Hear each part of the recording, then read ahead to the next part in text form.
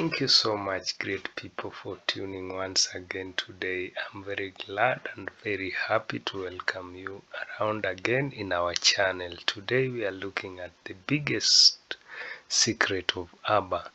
This is a very wonderful story, and I would urge you just to sit back and relax as we go through this very beautiful story. If today is your first time tuning, I do say thank you, and please press that subscription button so that in future you'll be able to get these great videos. And to our returning friends i do say thank you so much and feel welcome. So let us jump straight away into this great uh, video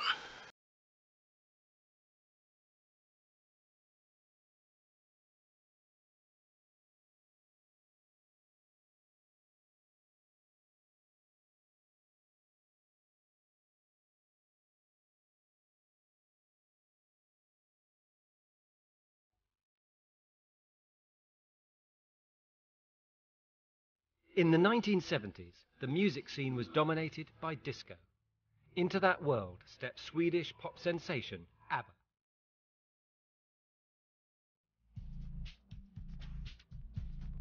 With nine number one singles and 17 successive UK hits, they would become the most popular group since the Beatles. ABBA pretty much did what came naturally, and uh, you know it was the right time, the right place, you know, the right country, and more important and most important, the right music. But beneath the carefree image, one of the smiling Swedes was hiding a dark secret. A secret that had its roots in wartime Europe.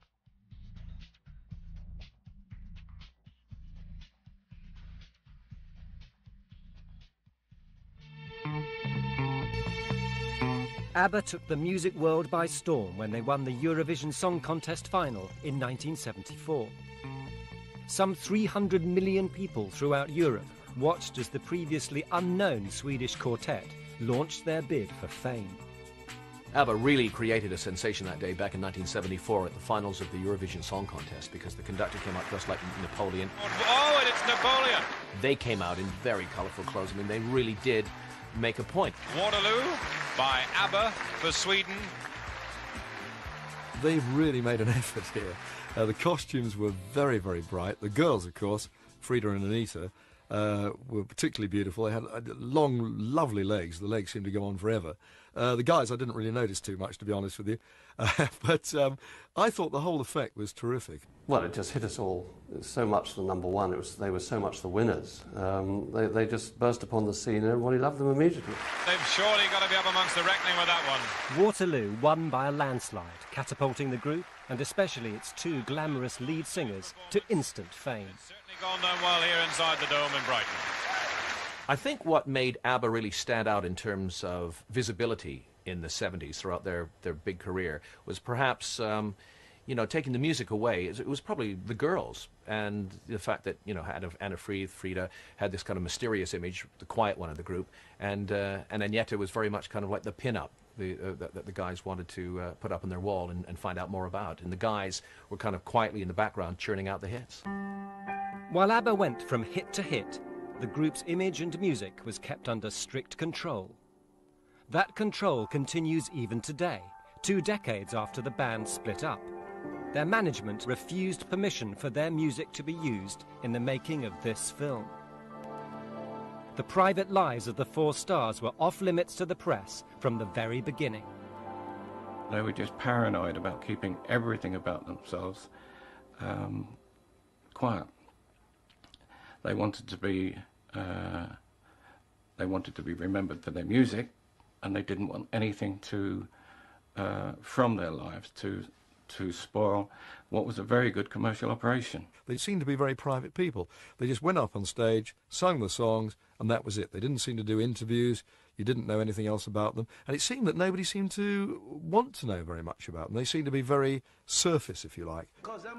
Even in their rare interviews, the group was clearly happy answering only the most superficial questions about themselves. The last time you were on, uh, uh, this is Bjorn and Agnetha. That's right. You were married. Yeah, we are. We still are. Still. Still. In spite of this year. That's right. In spite of a whole year Yeah. of enormous success. Now you talk about something. Now you were engaged. Yes, we Right. Since You're still engaged. Yeah, we're Yes. still engaged. That's a long engagement. She you- won't marry me. She won't. Frida, why you want? Why won't you marry him? I'm too pretty. Oh. But one of them was carrying with her a legacy of the past, a legacy that remained carefully buried despite the worldwide glare of publicity. Almost overnight, ABBA had jumped into the big league. They became an absolute machine that just took over the charts. It seemed as if they could do no wrong, and if they wanted a hit, they would have a hit.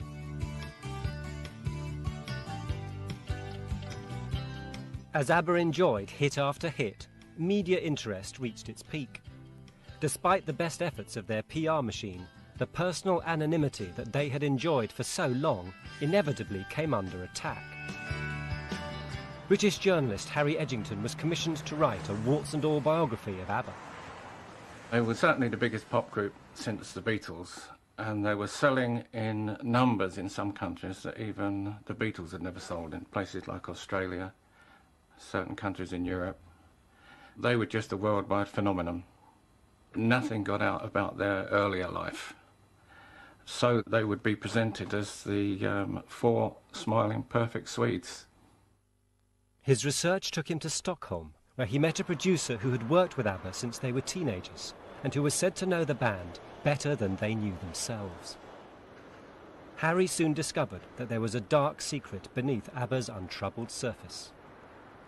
He knew them uh, from their very early days, so that he knew exactly where they'd started from, what had happened, and he knew where all the all the skeletons were, and they just tumbled out. Harry began by looking at Frida, the quiet one of the band, and soon he knew why. Frida's story was stranger than fiction. Harry had struck gold. I, I had no idea that she had the background that um, I now know. And I, yeah, one can understand why she was quiet about all this. Frida's story led straight back to the horrors of wartime Norway and a secret that had lain dormant for years. With their good looks and flamboyant costumes, it was Frida and Agneta who became the figureheads of the band and the focus of much public and media interest. But it was a role that Frida in particular found difficult to cope with. She didn't say very much, and uh, I think that made her more mysterious and, and perhaps more alluring. We knew very little about Frida. She was the one who was always very, very introspective. Um, she was quite bubbly on stage, and when uh, you know when they had presentations. But in private life, she was the one who was always very, very moody, spending time on her own, and uh, often seemed deep in thought. As Harry Edgington discovered, the clues to Frida's personality were buried deep in her past, a past that was full of surprises.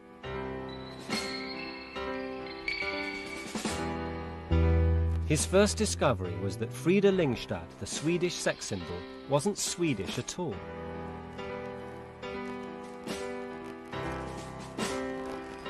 She had been born in Norway at the end of the Second World War.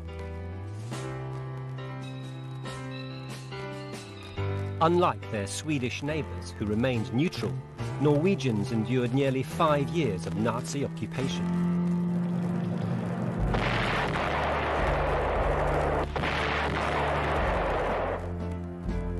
In 1940, Hitler's German army, which had been rampaging through Europe for over a year, turned its attention to Norway.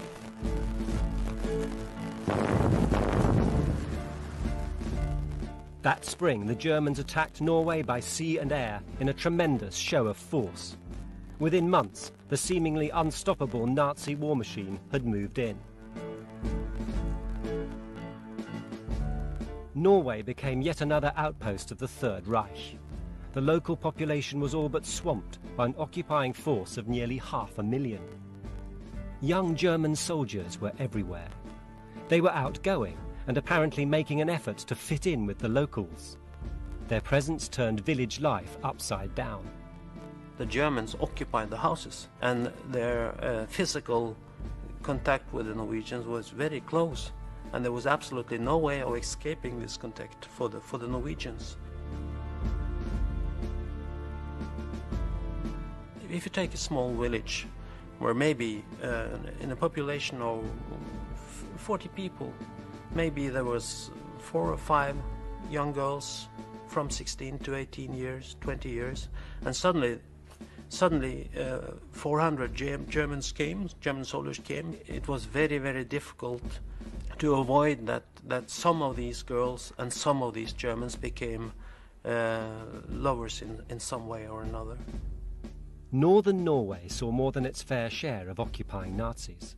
Thousands of German troops were sent to the town of Narvik and the neighbouring village of Ballangen. It was here that Frida was born. Frida's mother, Synni Lyngstad, was just 17 when the war began. The Lyngstads and their five children lived in Ballangen.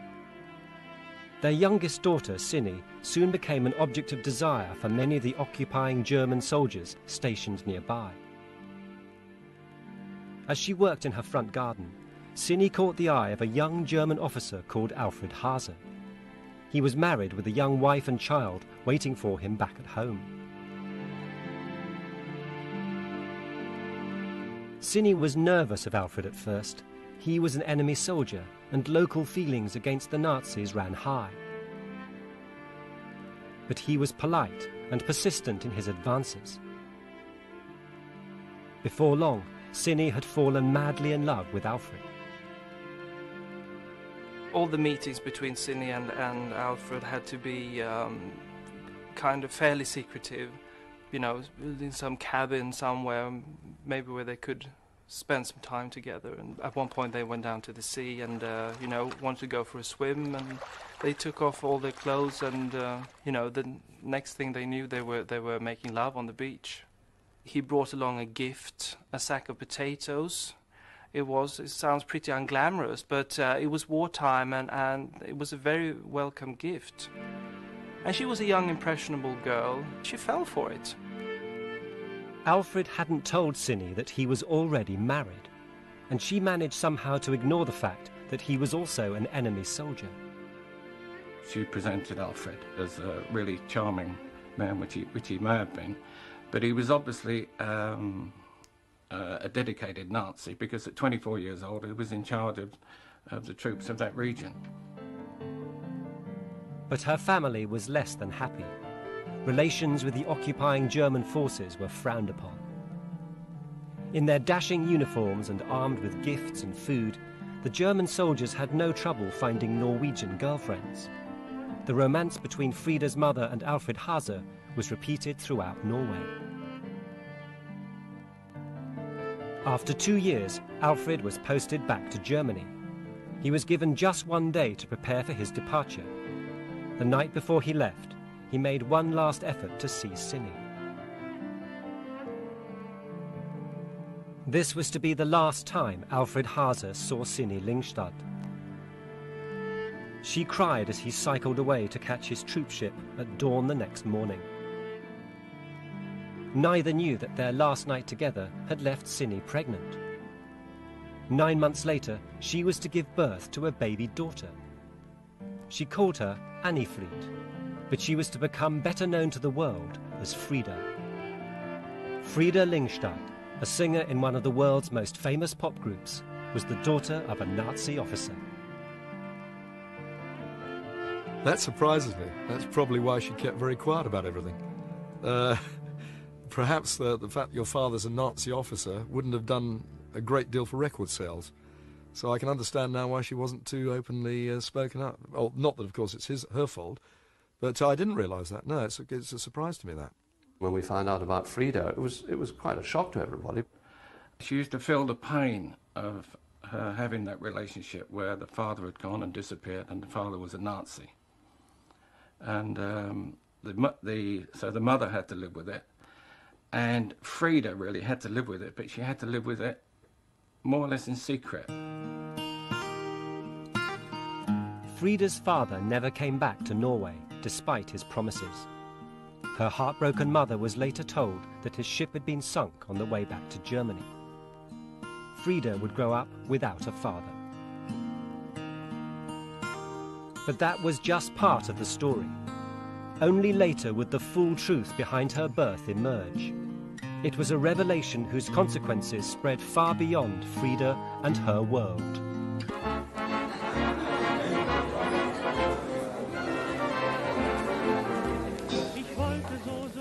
Throughout Norway, young women had been seduced by German soldiers during the war.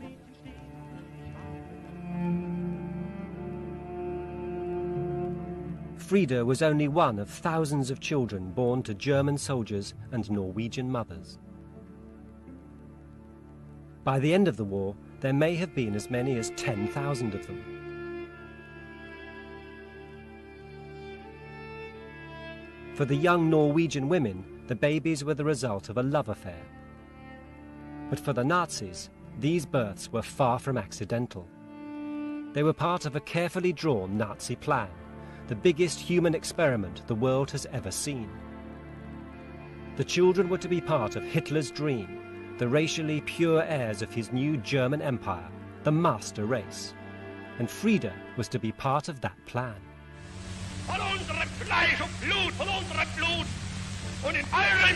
In 1935, Hitler translated his master race theory into law.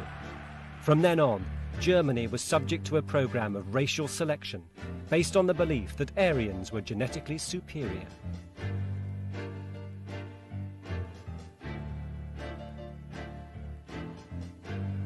Hitler entrusted SS chief Heinrich Himmler with implementing his racial policy. He set up special homes where racially approved women gave birth to their children whom they could leave for adoption by SS families if they wished. They were called Lebensborn homes, Lebensborn meaning fountain of life. Himmler ordered the supposedly pure men of the SS to father as many children as possible, whether with their wives or with any suitable Aryan woman, for the glory of the Third Reich.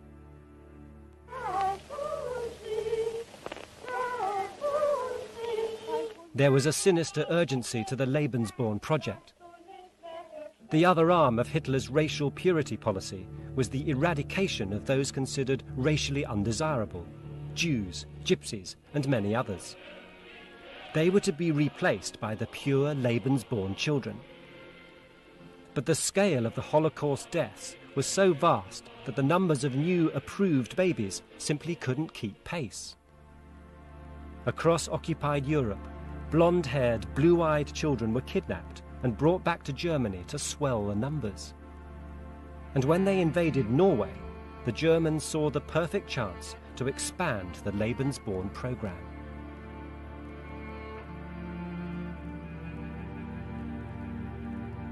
The circumstances were ideal. A population of racially valuable young Aryan women and 400,000 German soldiers who could sleep with local women not just without recrimination, but out of patriotic duty. In other occupied countries, German soldiers were forbidden to make friends with the locals. But in Norway, all soldiers, and especially officers like Alfred Haase, were under orders to sleep with and impregnate Norwegian women. Romance was an added bonus. All the Nazis had to do was provide a place for the women to give birth in safety and secrecy and let nature take its course. On Himmler's orders, nine Lebensborn homes were quickly set up throughout southern Norway where women could give birth in secret. The breeding program was a huge success.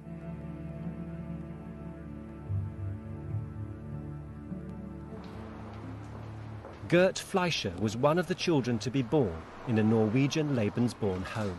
I can imagine how the German Reich uh, looked upon the Lebensborn, Lebensborn movement in Norway. Now they were really going to get some 100% Aryan uh, uh, products.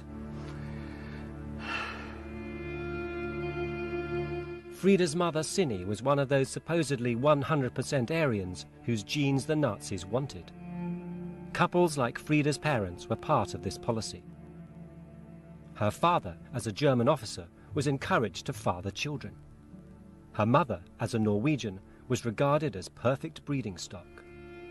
the pattern was repeated all over Norway. Many mothers, their anonymity protected, accepted the offer to leave their babies in the homes, believing they would be well cared for and offered a secure future. But in the event of an Allied victory, an altogether different fate awaited them. There was such a stigma attached to being involved with the Germans in any sort of way, and, and you know, being in a, in a romantic relationship with a German soldier was, was just uh, the biggest crime he could commit. Throughout the war, the Norwegian government in exile broadcast warnings to collaborators, especially those like Frida's mother, who had had affairs with German soldiers. We have previously issued a warning, and we repeat it here, of the price these women will pay for the rest of their lives. They will be held in contempt by all Norwegians for their lack of restraint. In May 1945, the Germans surrendered. Himmler committed suicide, and the Lebensborn project came abruptly to an end. King Haakon and his government returned to Norway.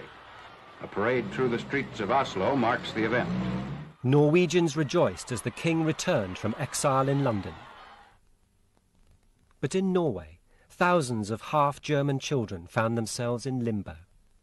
The Norwegians' hatred of their conquerors boiled over into revenge. For the thousands of women who had taken German lovers, retribution was at hand. Collaborationists are paid off in full measure for consorting with the enemy.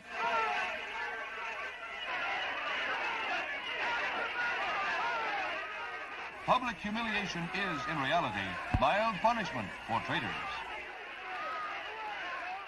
Collaborators had a hard time all over Europe, but in Norway, the hatred extended to their children.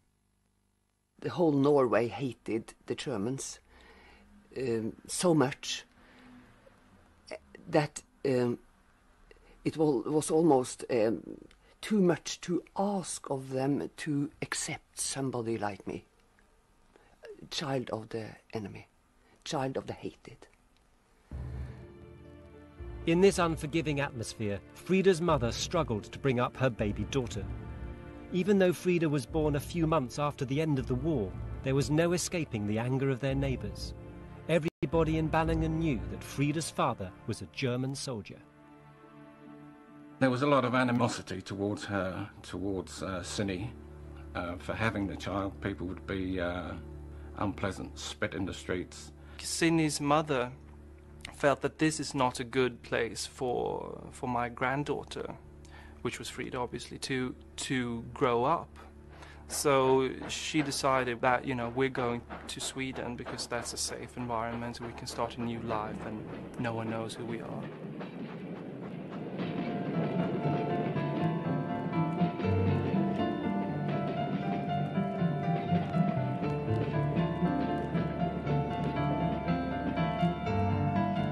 Moving to Sweden saved Frida from being punished for her mother's actions.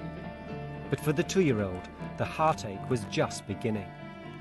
And soon after they'd arrived there, Frida's mother, Cindy, she came after. And she actually got a job there, and uh, things were sort of looking up. But, but then something happened. One day she just collapsed at home and she was rushed to the rushed to the hospital, and it turned out that there was some problem with her kidneys, and there was surgery and and all that. But uh, it turned out that her life couldn't be saved. Cindy's childhood friend, Sara Mura, remembers how devastated the family were at her death. It was awful and I thought of Annifrid, that she should lose her mother. She was only a little girl when her mother died. She didn't understand anything about what was happening. And I think that was what we thought about most, that little Annifrid had lost her mother.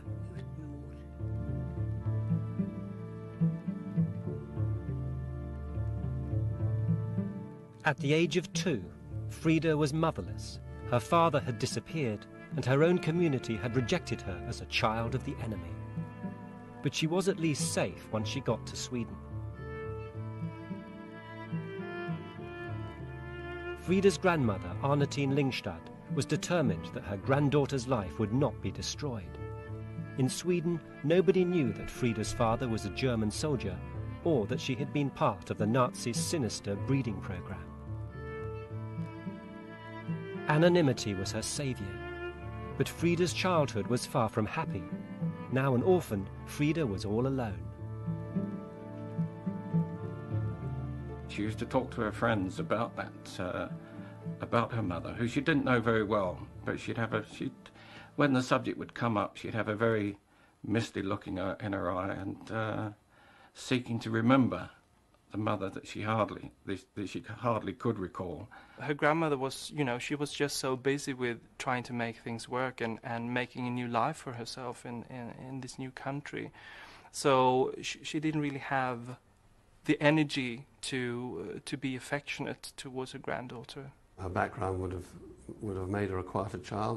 Obviously, with an upbringing and sadness she had in her lives, I imagine it would affect anybody that way. They ended up in Torshälla, a small town an hour's drive from Stockholm.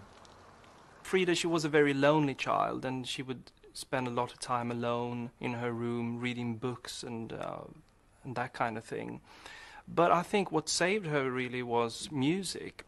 She was very much appreciated in school for her good singing voice as well, and started singing in, in the local choir and, and all that. So I think she discovered pretty early that I want to be a singer, and that's what I'm going to do when I'm when I grow up. The famous Miss Doris Day has gladly consented to sing a few songs for us tonight.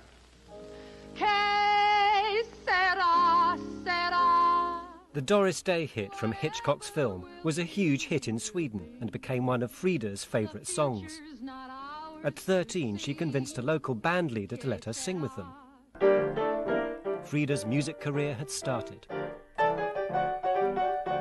By the time she was 16, Frida was singing with a local big band. She'd moved from the simple tune of Que Sera to the more complex jazz of Sweet Georgia Brown. At last, she felt as though she belonged.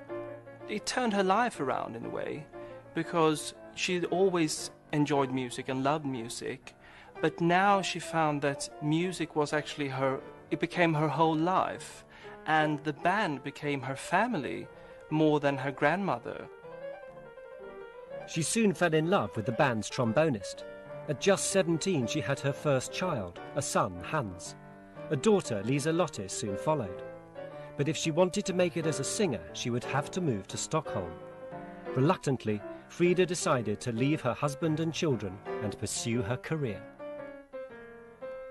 She was so emotionally unfulfilled at the time. She, I mean, she didn't really have a, a, a, real childhood. She had to grow up much earlier than most children, and she was still searching for some kind of fulfillment.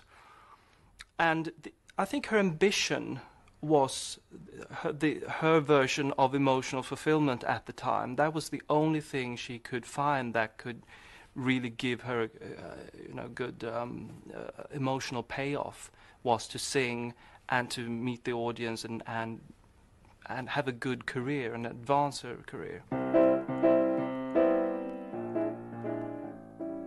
Frida's career got a boost when she caught the eye of veteran Swedish cabaret artist Charlie Norman in 1969.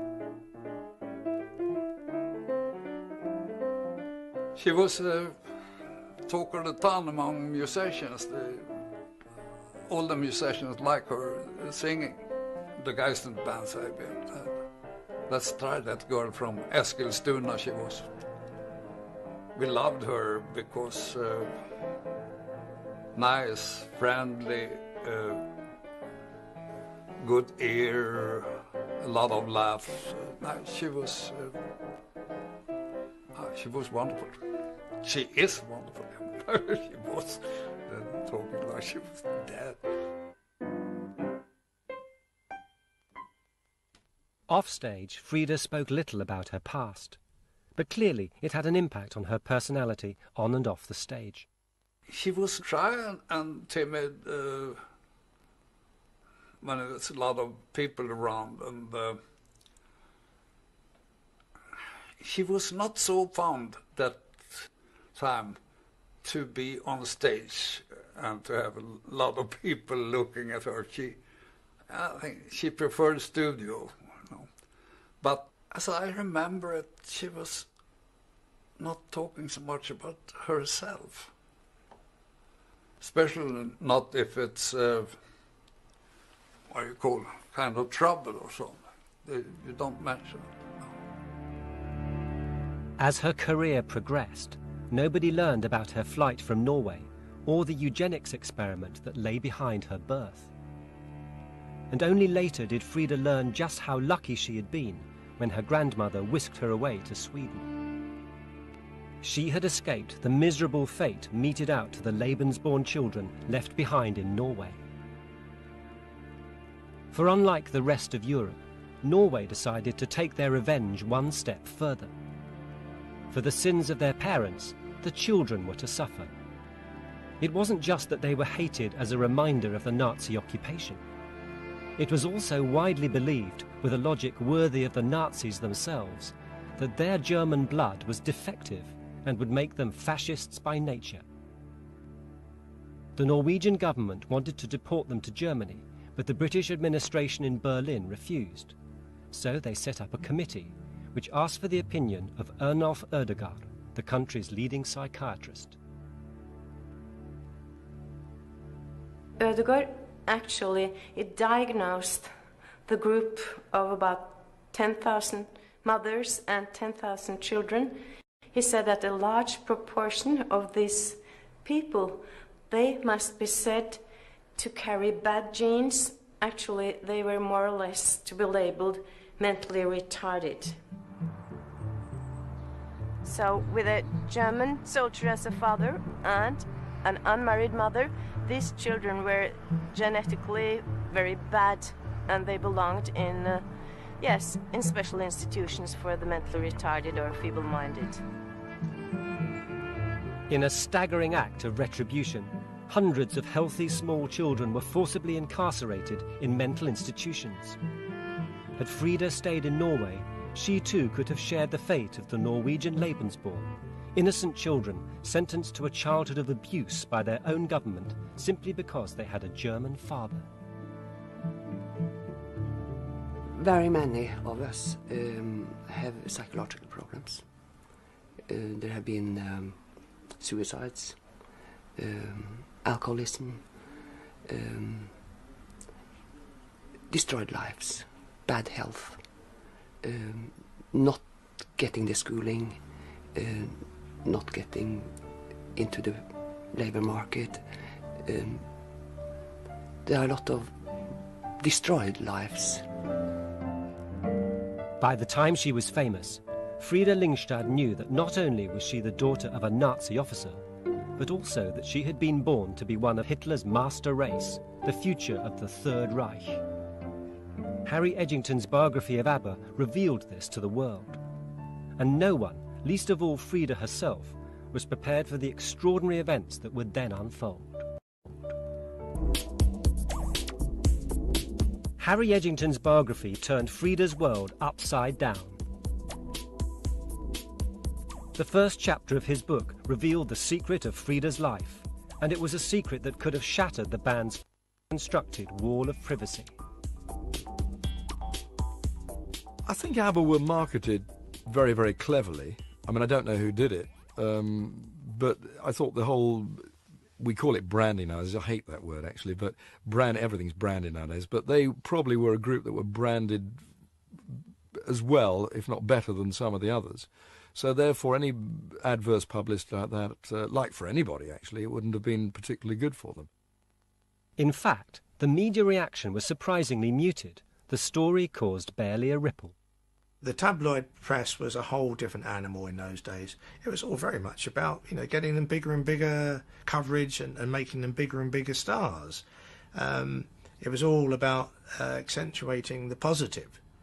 Um, so the, you know the shadows, the kind of the, the, the, the problems didn't really start to emerge until years later. But the story didn't sink completely without trace. In Germany, the pop magazine Bravo followed up with an article about Frida's naming Alfred Haase as her father.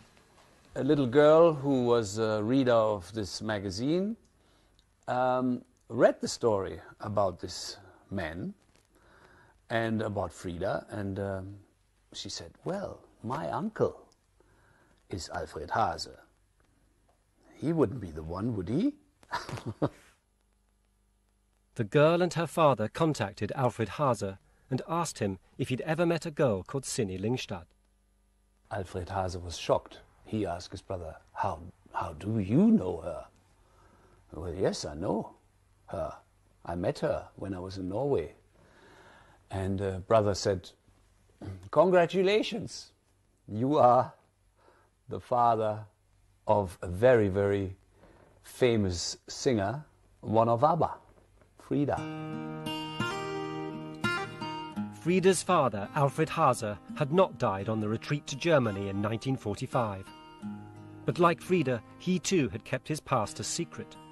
The retired pastry chef had never told his wife and children of his wartime affair with Frida's mother.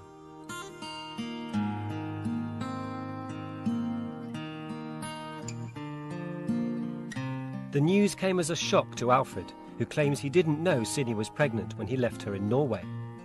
It was going to be even more of a shock for Frida, who believed that her father had died before she was born. The next step for Alfred, obviously, was to get in touch with his daughter. And he started phoning uh, their offices uh, in Stockholm um, and trying to get in touch with her. And she wouldn't come to the phone. She thought it was, you know, a crank caller because obviously as a pop star you attract all kinds of people. She got a phone call from Alfred Haase out of the blue to say, you know, good morning. This is this is your father calling. And considering that she thought he was he was uh, dead in a troop ship, um, must have thrown her a lot. That was the time, 1977, when ABBA was like absolutely super, super duper stars everywhere in the world. We phoned up the office uh, of ABBA and told them, and they were, of course, very careful with it and shocked because, um, you know, anybody could come along and say, well, I'm Alfred Haase. Alfred actually knew things that he couldn't have known unless he had been in Ballangen and known Synni Lyngstad and her family and all that. So, uh, I mean, obviously she was shocked as well, you know. Her whole world turned upside down. And she decided that she wanted to meet him. Frida asked Alfred to fly to Stockholm. She wanted to keep the meeting secret, but the chance of that was small it was safer to release the story herself.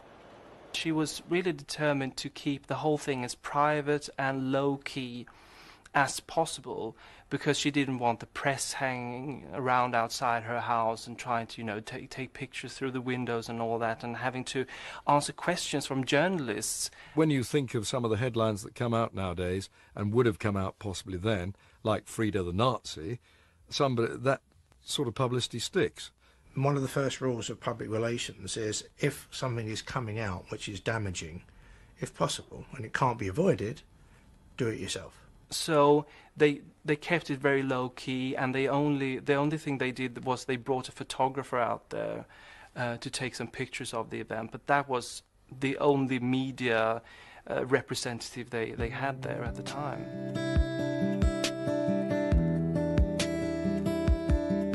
When the time was right, Frida's statement and photos of the meeting were released to the press.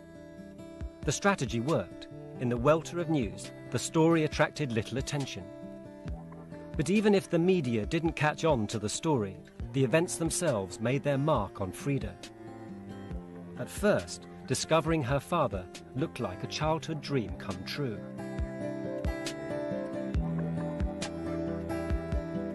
So the first time the father and daughter met was actually outside Benny's and Frida's house because she was standing outside waiting for them to arrive and and they did and uh, you know he had brought flowers and they embraced and they were in tears and it was just a very very emotional moment for both of them next day frida called me and she said booby I tell you, it's really true. He is my father because he knows all the details. We made photos, and you can even tell when you when you see us from the side um, that we have the same profile. His nose is mine, my nose is his. It was very, very moving.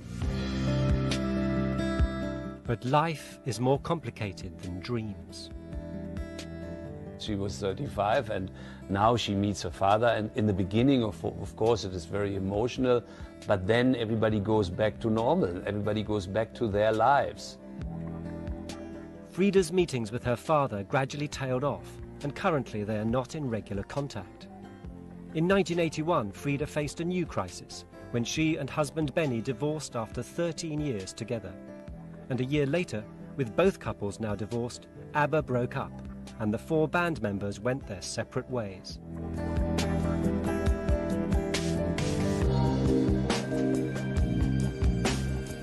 I wasn't surprised when ABBA had split up because they had had a fantastic innings. I mean, I don't know where they could have gone from that particular point, but uh, you know, all good things must come to an end eventually, and, and theirs came, and it came at a time when perhaps we were already as you know pop fans to move on and, and, and buy somebody else's music.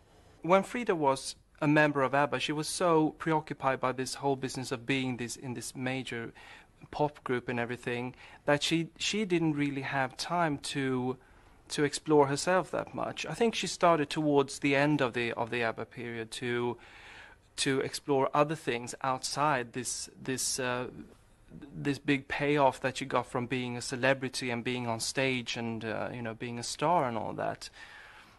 And when the ABBA period ended, um, she made you know a couple of solo albums, um, but eventually she reali- she realized that I don't really want to be a public figure anymore, and she stepped out of the of the limelight and started doing some more soul searching and trying to really find out who she was really. And they've tried their solo careers. Benny and Bjorn have gone on to, to other things and written big musicals and done well. And it's a shame about the girls, how they've just sort of disappeared or regressed into their life.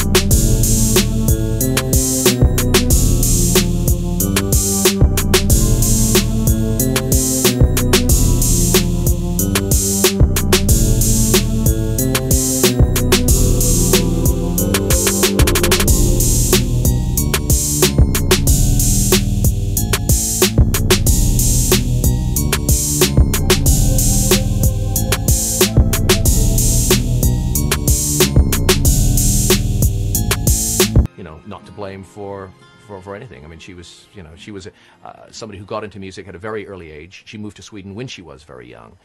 Um, and so I don't think anybody would have blamed her for um, any indiscretions that may have been committed in, you know, about her. If you think about it logically, which unfortunately, when you read headlines, you sometimes don't, you say, isn't that awful? I mean, obviously, it's nothing to, it's not her fault that, uh, that what happened to her happened, and it's a very sad story. Like all the offspring of Hitler's monstrous master race plan, Frida has spent her life in its shadow, suffering years of confusion and depression. She was well known, she was famous, she was strong, but it's only lately that she has come forward saying that she's a German child. That tells something about the oppression and the shame that was brought up upon us. Once the lights are out and uh, everybody's gone home, she's sort of alone with herself and all her old demons and uh, and and uh, her all the unanswered questions from her childhood are still there. Frida Lyngstad now lives alone and is rarely seen in public.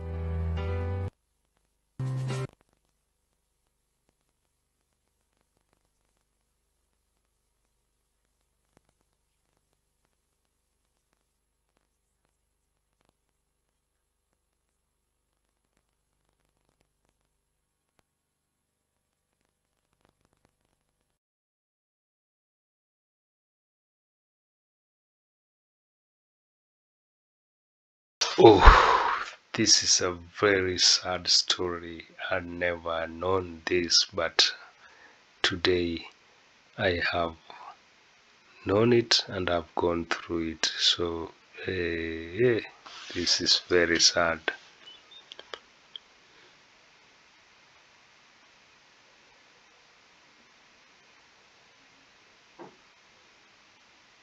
A lot of atrocities done in the past but uh, there was an outcome that was magnificent and uh, we still pray for them and i know they're gonna have a good life despite all this. Thank you thank you guys for tuning in. And i also say thank you for taking your time. And if today is your first time please press that subscription button and also the notification bell so that next time you will be able to get these great videos. See you again in our next reaction